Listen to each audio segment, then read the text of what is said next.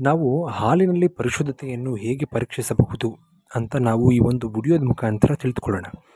ಹಾಲಿನ ಪರಿಶುದ್ಧತೆಯನ್ನು ತಿಳಿಯುವ ಒಂದು ಸಾಧನಕ್ಕೆ ಲ್ಯಾಕ್ಟೋಮೀಟರ್ ಎಂದು ಕರೆಯುತ್ತಾರೆ. ಇದು ಸ್ತಂಭಾಕಾರದ ಒಂದು ಗಾಜಿನ ಟ್ಯೂಬ್ ಆಗಿರುತ್ತದೆ. ಈ ಟ್ಯೂಬ್ನಲ್ಲಿ ಒಂದು ತುದಿಯಲ್ಲಿ ಬಲ್ಬ್ನ ಆಕಾರದ ಒಂದು ಬುರುಡೆ ಇರುತ್ತದೆ. ಅದರಲ್ಲಿ ಪಾದರಸವನ್ನು ತುಂಬಿರುತ್ತಾರೆ. ಟ್ಯೂಬ್ನ ಮತ್ತೊಂದು ತುದಿ ನಳಿಕೆಯ ಆಕಾರದಲ್ಲಿರುತ್ತದೆ. ಅದರ ಬಾಯಿಯನ್ನು ಸೀಲ್ ಮಾಡಿರುತ್ತಾರೆ.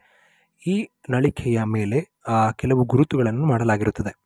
ನಳಿಕೆಯು ಮೇಲೆ ನಳಿಕೆಯ ಮೇಲೆ ಗುರುತುಗಳನ್ನು ಹಾಕಲು ಮೊದಲು ಅದನ್ನು ಶುದ್ಧ ಹಾಲಿನಲ್ಲಿ ಮುಳುಗಿಸಲಾಗುತ್ತದೆ. ಶುದ್ಧ ಹಾಲಿನಲ್ಲಿ ಅದು ಯಾವ ಜಾಗದವರೆಗೂ ಮುಳುಗುತ್ತದೆಯೋ ಆ ಮಟ್ಟಕ್ಕೆ ಎಂ ಎಂದು ಗುರುತು ಹಾಕಲಾಗುವುದು. ಅನಂತರ ಅದನ್ನು ನೀರಿನಲ್ಲಿ ಮುಳುಗಿಸಲಾಗುವುದು.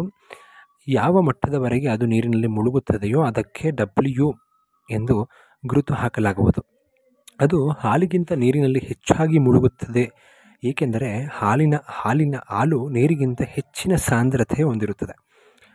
ಎಂ ಮತ್ತು ಡಬ್ಲ್ಯೂ ನಡುವಿನ ಜಾಗವನ್ನು ಮೂರು ಭಾಗಗಳಾಗಿ ವಿಂಗಡಿಸಿ, ಅದಕ್ಕೆ ಮೂರು, ಎರಡು ಮತ್ತು ಒಂದು ಎಂದು ಗುರುತು ಹಾಕಲಾಗಿರುತ್ತದೆ ಈ ಸಂಖ್ಯೆಗಳು ಹಾಲಿನ ಪರಿಶುದ್ಧತೆಯನ್ನು, ಮಟ್ಟವನ್ನು ಸೂಚಿಸುತ್ತದೆ.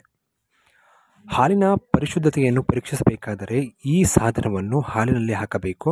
ಅದು ಎಂ ಮಟ್ಟವರೆಗೂ ಮುಳುಗಿದರೆ ಅದು ಶುದ್ಧ ಹಾಲು. ಹಾಲಿಗೆ ನೀರು ಬೆರೆತಿದ್ದರೆ ಅದು ಎಂಗಿಂತ ಹೆಚ್ಚಿನ ಮಟ್ಟದವರೆಗೂ ಮುಳುಗುತ್ತದೆ. ಅದು ಮೂರನೇ ಗುರುತಿವರೆಗೆ ಮುಳುಗಿದರೆ ಹಾಲು ಎಪ್ಪತ್ತೈದರಷ್ಟು ಶುದ್ಧವಾಗಿರುತ್ತದೆ. ಎರಡನೇ ಗುರುತಿನವರೆಗೆ ಮುಳುಗಿದರೆ ಐವತ್ತರಷ್ಟು ಶುದ್ಧವಾಗಿರುತ್ತದೆ. ಹಾಗೂ ಒಂದನೇ ಗುರುತಿನವರೆಗೆ ಮುಳುಗಿದರೆ ಹಾಲಿನ ಪರಿಶುದ್ಧತೆ ಕೇವಲ ಇಪ್ಪತ್ತೈದಕ್ಕಿಂತ ಕಡಿಮೆ ಇರುತ್ತದೆ.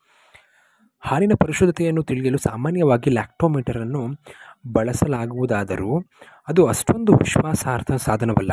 ಕೆನೆ ತೆಗೆದ ಹಾಲಿನಲ್ಲಿ ಲ್ಯಾಕ್ಟೋಮೀಟರ್ ಪರಿಶುದ್ಧತೆಯನ್ನು ಸರಿಯಾಗಿ ಸೂಚಿಸಲಾರದು.